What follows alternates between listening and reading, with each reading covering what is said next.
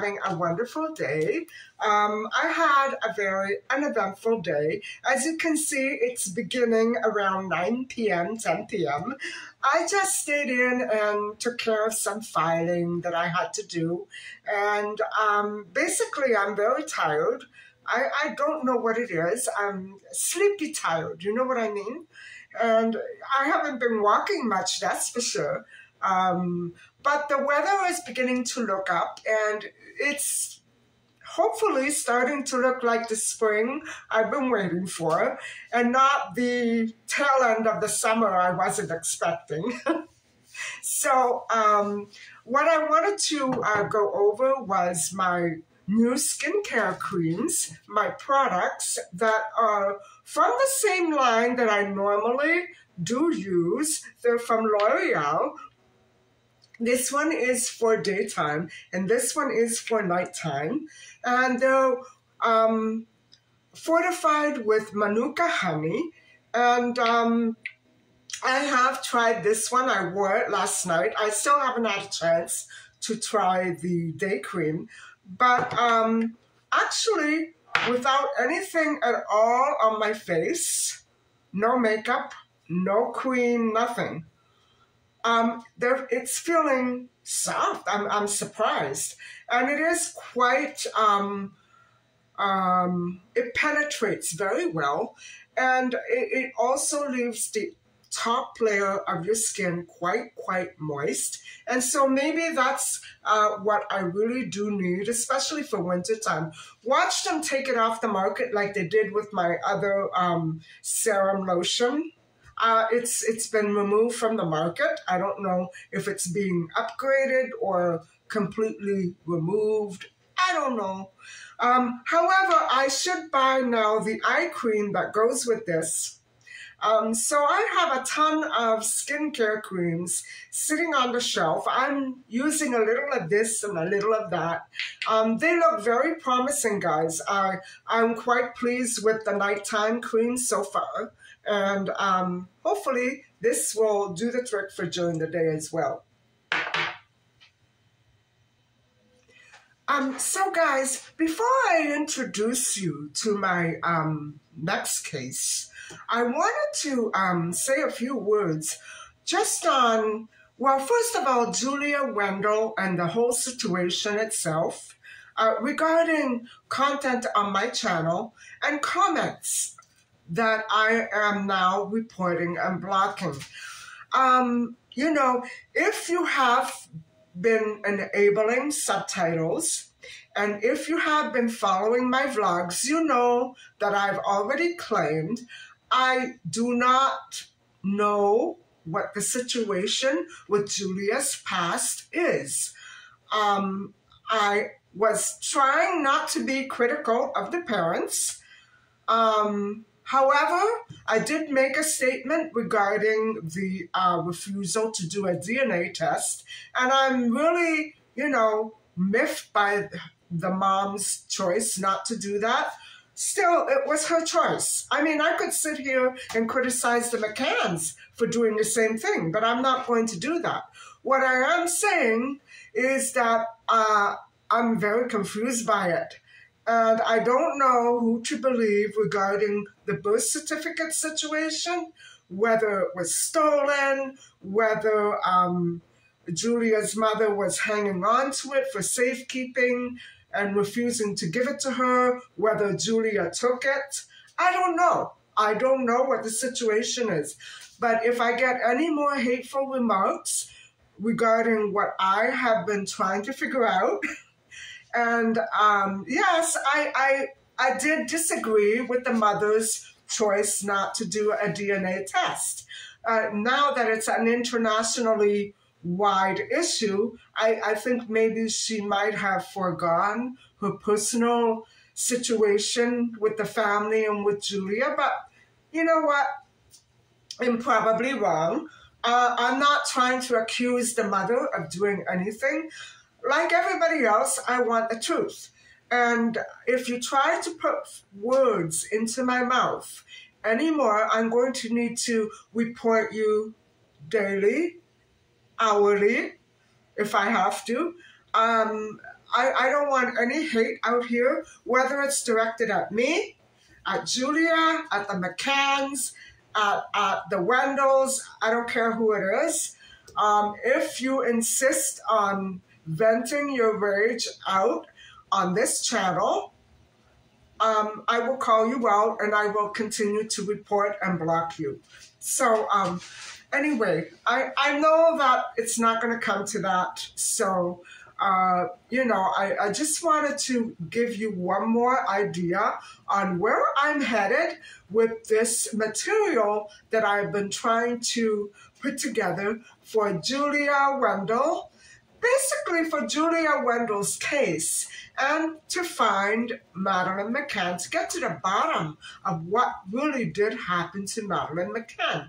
Because, of course, we know that if it weren't for the disappearance of this child, we wouldn't have all these missing child cases that resemble Maddie physically.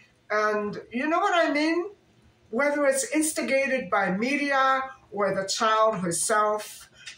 Um, Maddie will be turning 20 this May, and so she's no longer, well, she's technically on her way to um, adulthood if she's still alive. And so, what I want to do, guys, is give you an entirely different perspective of the Madeleine McCann case. And it's something that I haven't wanted to do, but I think because I, I can continue to become even more objective about this case, I adore the McCanns, and I almost feel as though I have come to love them. I, I think that what they did to protect themselves and their family and their loved ones um, must have been very hard to keep everybody out of the public eye.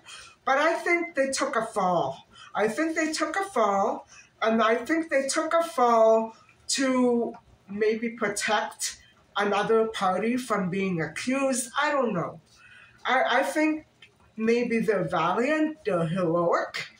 Um, however, Richard Hall is one investigator who he's he's actually represents a, an entire investigative team that looked into the Maddie McCann evidence and came out with an entirely different different um, scope and perspective of the entire case, and it kind of puts the McCanns in a bad light, and that's why I hung back. I never went to that side. Actually, more has come out that's clarified a few of his points a lot.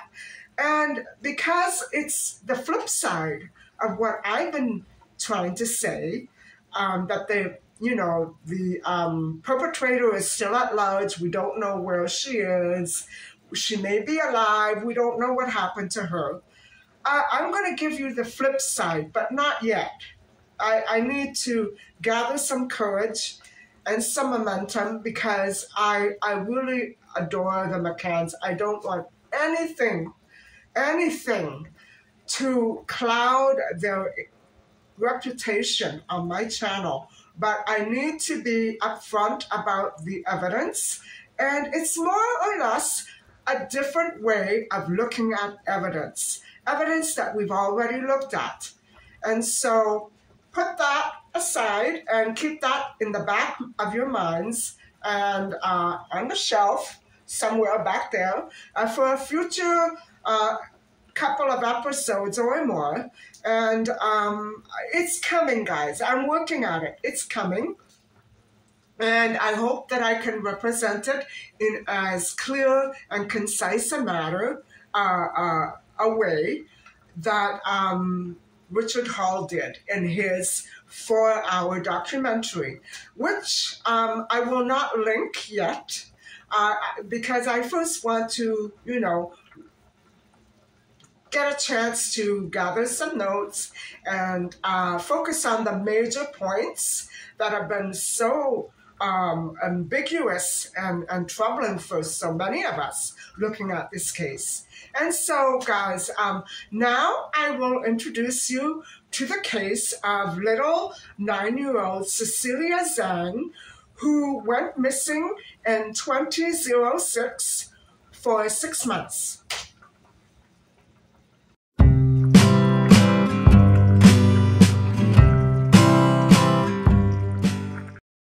Alright guys, so let's get started on this new case involving little Cecilia Zhang.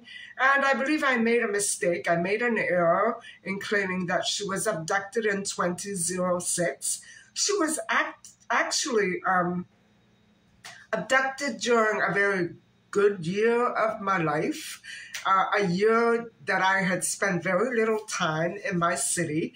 It was the year that I got married abroad, and I got married in September, on September the 16th of 2003 in another country.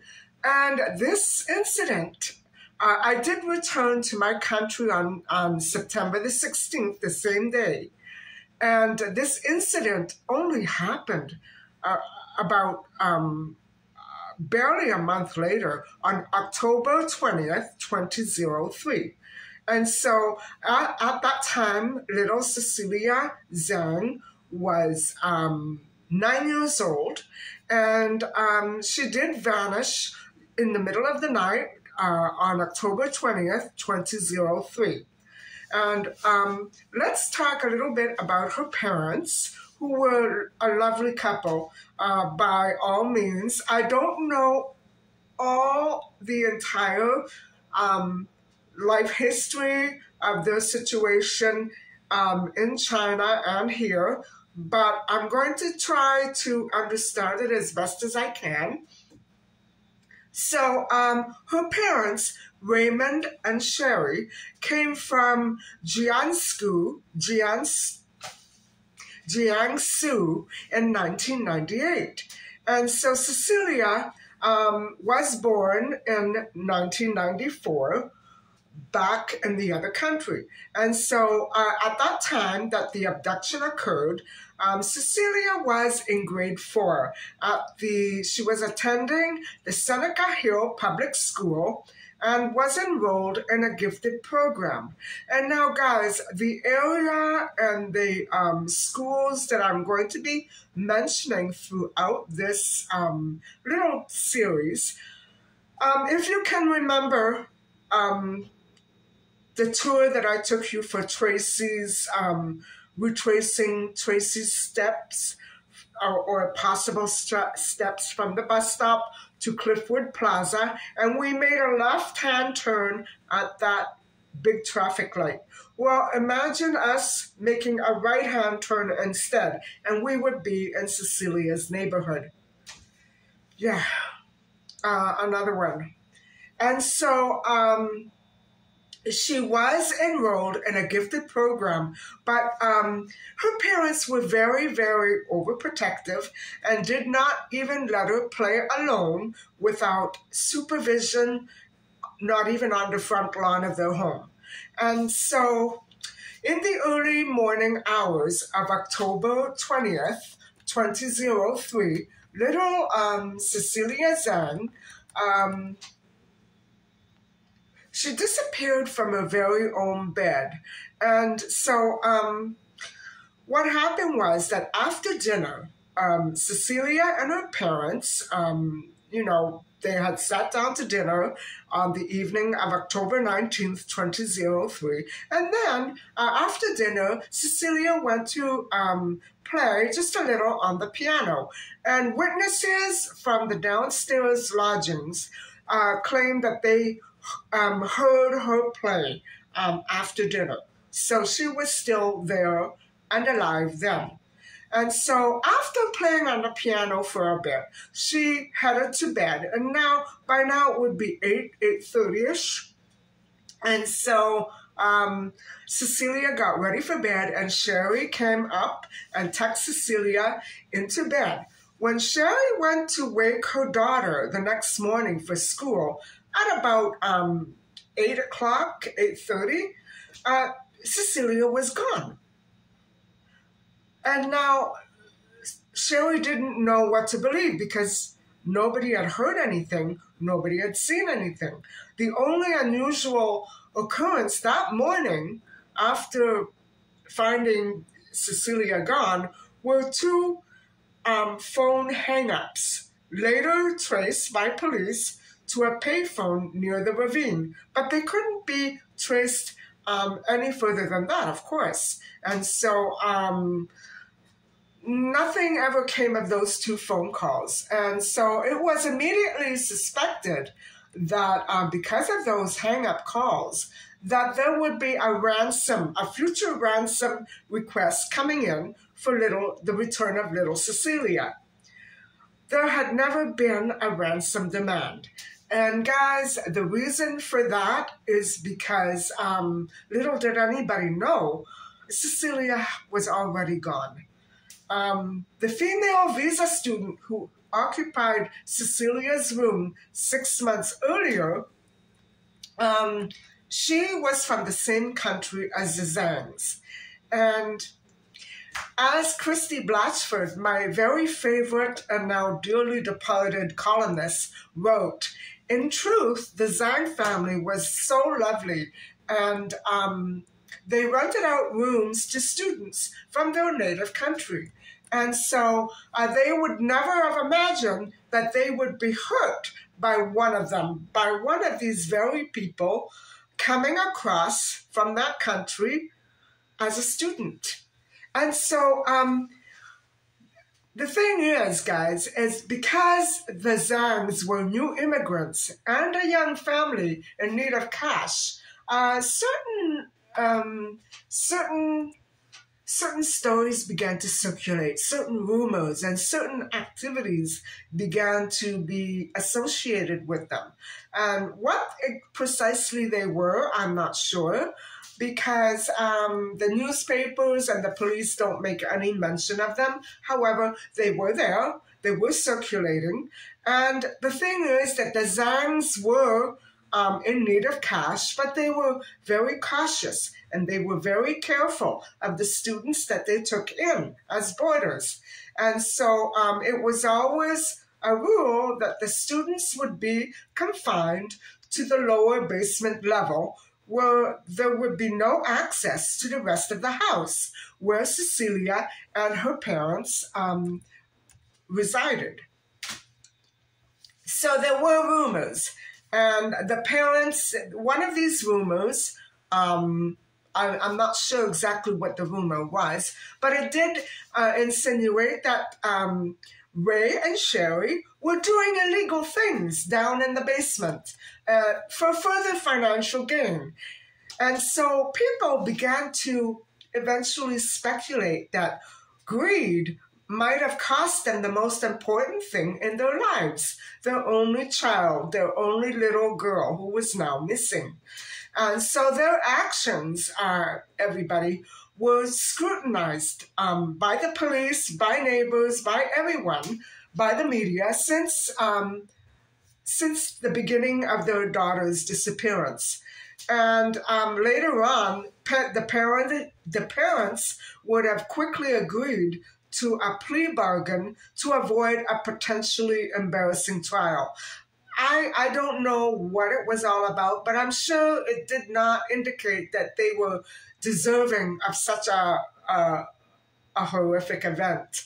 And so something was up. Something was up. And it does remind me a bit of the McCann ordeal after the disappearance of Madeleine. And so, however, um, very quickly, it was the boarders that police began to concentrate on right away. They were um, there were so many of them over the five years too. It wasn't just at that specific time, and so. Um, uh, over the five years that the Zhang family was living there, um, boarders moved in and out very quickly, as students normally do. And so it wasn't ultimately a boarder who was indeed responsible for the disappearance of little Cecilia. It was not. It was um, rather a, a friend of a boarder who had moved out six months prior to the incident of the abduction. So um, now uh, the, there was a female visa student living uh, at the home six months prior.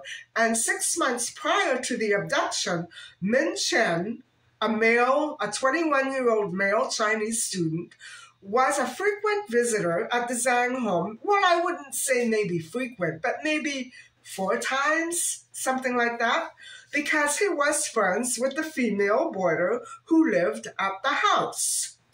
And so um, that was that.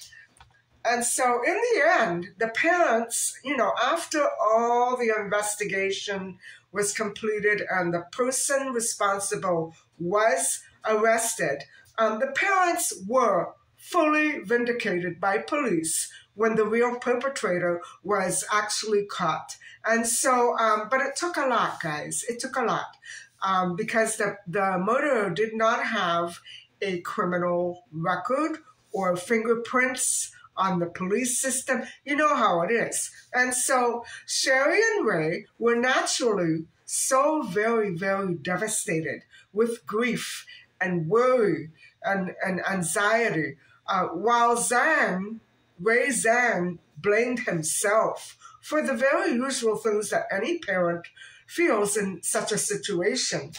And um, the prosecution ultimately you know, at the trial said that there was nothing that this family did to invite such horror, not even if they indeed were in trouble with the law. Um, and they could have done very, very little to prevent it. So, this is why, guys, and this is where I'm going to stop. This is why the brutality of the police force or the investigator um, dealing with the Zhangs it seems to me so out of place and so unacceptable. And yes, I have to admit, it, it to me, even though many people admit that this was good police work, um, you know, tracking down the boarders, looking for evidence, uh, this is not anything to write home about. It's not proud. It's nothing to be proud of. And I will leave it for the next second part because it, to me, it, it really just screams racism. And I'm sorry, that's how I see it. They could have been more sensitive. And I, I think in the end, they, they felt bad, but I don't know how much they did to rectify it. The, the abusive treatment of the poor mother, which I will get into um, in a moment, in not in a moment, next time. So, guys, um, thank you so much for watching me and listening to me and my as I go along my dull tasks. It was a very uneventful day, but um, I will be going on with the case in a day or so. Maybe not tomorrow, maybe I will. And so um, please uh, don't forget to like and subscribe, and I will be talking to you very soon. Bye for now.